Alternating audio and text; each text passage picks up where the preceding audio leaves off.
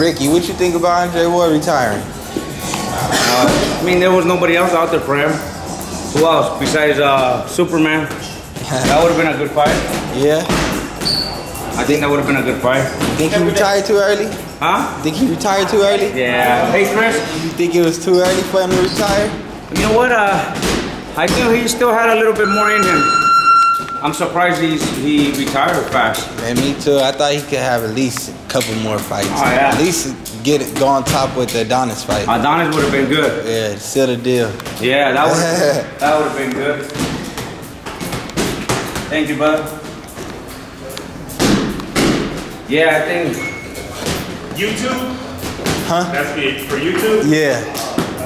What do you think about um, Wilder versus Ortiz? that's gonna be good. I got a, uh, I got what's his name? Wilder? Adon, Ortiz? I got a damn. Ortiz? No, what's his name? Deontay. Deontay Wilder. Yeah. Yeah, I got Wilder on that fight. Man, can't wait for him to fight Joshua, huh? Hey, if this goes well for him, you think Joshua? I think the Cuban's gonna come out of uh, what's his name?